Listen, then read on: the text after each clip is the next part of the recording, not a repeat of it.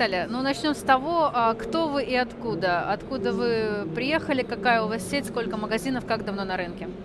Меня зовут Виталия Латошникова, я являюсь основателем сети магазинов «Дикая устрица» в городе Таганроге.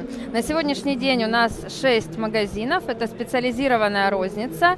Мы занимаемся продажей морепродуктов и других эксклюзивных товаров из разных стран мира, но, к сожалению, сейчас их ассортимент немного сократился. Так, а давайте начнем с того, что э, в вашем ассортименте, то есть, условно говоря, «Дикая устрица» навевает сразу мысль о том, что устрицы там должны быть? Что там еще Однозначно, есть? конечно, устрицы есть. Э, в нашем магазине вы можете найти абсолютно все виды морепродуктов. Нет такого морепродукта, которого не будет на нашей полке. А, единственная особенность, что мы всегда отбираем наиболее качественный морепродукт. Поэтому дикая устрица это такой бренд, который гарантирует качественные продукты и, как правило, дикого происхождения. Где ищете, как ищете сырье? Мы работаем с импортерами, с рыбодобытчиками. Естественно, вся логистика организована через Москву. А если говорить про события последних месяцев, то с какими сложностями пришлось столкнуться, как с ними справлялись, как работали, а что еще, может быть, осталось нерешенным, какие проблемы? Ну, основная проблема, которая, с которой столкнулась вся Россия, это, естественно, отсутствие лосося на российском рынке. Это чилийский и фарерский лосось, которые перестали поставлять. Мы, конечно же, также столкнулись с этой проблемой. В нашем ассортименте охлажденный лосось с Фарерских островов занимал достаточно серьезную долю выручки. Это был топ наших продаж.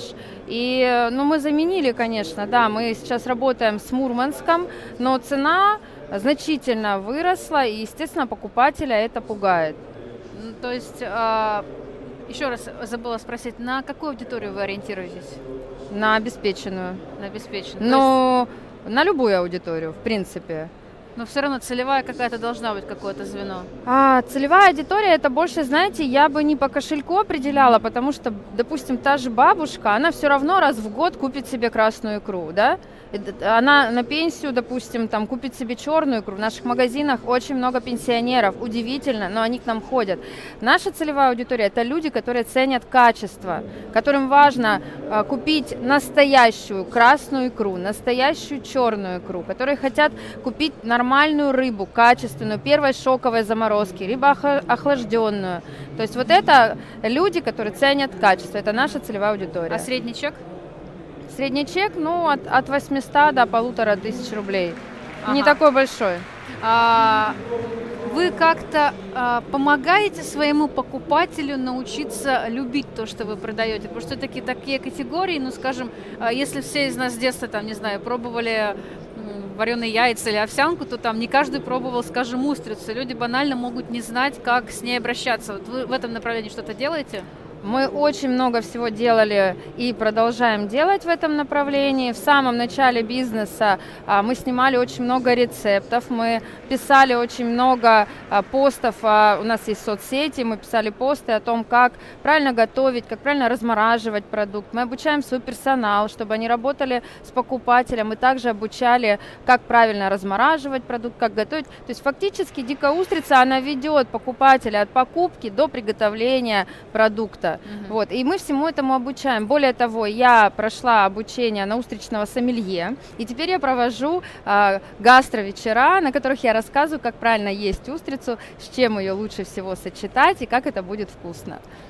А насколько сложно заполучать нового покупателя? То есть, понятно, что какое-то ядро у вас, видимо, сложилось уже. Вот как, каким образом вы привлекаете к себе новых покупателей? Знаете, в нашем городе очень сложно, когда мы уже работаем 6 лет, э, и сказать что сейчас, вот как привлечь нового покупателя, ну, это туристы могут быть. То есть нет э, такого человека, который не знает нашу сеть.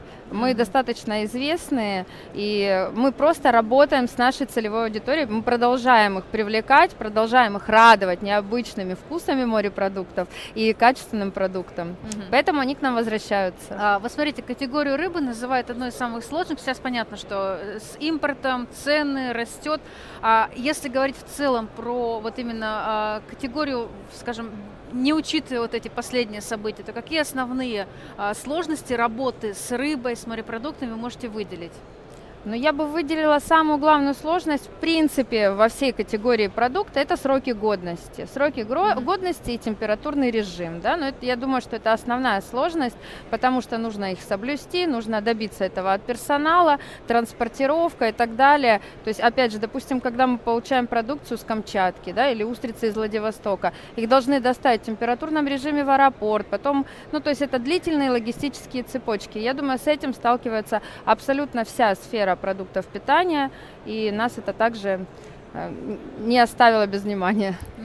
А если говорить про планы и фокусы на ближайшее время, то что бы, может быть, а, хотелось реализовать или что вы планируете реализовать? Будет ли расширять сеть куда-либо? Ну, сейчас очень сложно об этом думать. Вот на фоне всех событий, знаете, сейчас уже никто не, не строит таких планов дальносрочных. Э. Ну, хорошо, не дальносрочных, скажем, ну, на этот год, например. На, на сегодняшний день мы а, пытаемся сохранить те объемы, которые у нас есть, потому что действительно очень сильное падение продаж.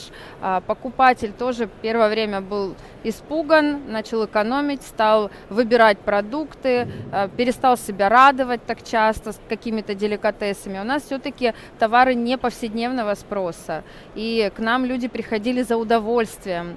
А когда такая обстановка в стране, сами понимаете, настроение у всех было не очень. Угу. Вот именно поэтому мы стали проводить различные ярмарки, фестивали, фестивале, чтобы вернуть желание э, наших гостей к, ко всяким гастрономическим экспериментам. А вы работаете помимо B2 B2C канала, без B2B канала. Да, мы также являемся поставщиком рыбы и морепродуктов а в кафе, рестораны города и не только Таганрога. Мы также являемся поставщиками в Ростове. А там как-то меняются запросы у бизнеса на предмет того, что им, какие позиции нужны? Экономить они пытаются сейчас или сейчас нет? все пытаются экономить. Э, ну, Сейчас самая большая проблема это дефицит. Это дефицит и высокая себестоимость э, импортных морепродуктов.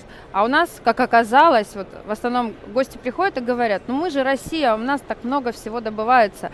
На самом деле очень много позиций, которые мы привозили. И сейчас это очень сложно, и когда вот возникают какие-то перебои в поставках, для ресторанов, конечно, это сложно. А какие-то еще альтернативные рынки у нас есть, откуда мы можем взять рыбу? Или уже сейчас э, все варианты исчерпали, скажем, но учитывая, что это тянется уже полгода примерно, эта вся ситуация? Знаете, сейчас ситуация вообще стабилизируется, я не буду озвучивать, каким образом, но уже в рынке появляются те позиции, которых не было. И я думаю, что со временем просто изменятся логистические цепочки, и рынок как-то стабилизируется. Тем более сейчас курс доллара достаточно приемлемый, и те позиции, по которым нет проблем с логистикой, они даже немножко стали дешевле.